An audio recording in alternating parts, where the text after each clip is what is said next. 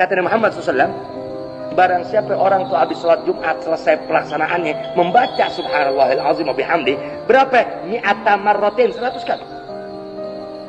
Tuh, apa?